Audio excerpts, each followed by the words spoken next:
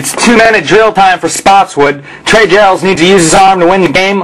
On fourth and ten, a completion keeps the drive alive. First down, Spotswood. Now, with less than 30 seconds left in the game, Gerald throws this one in the air.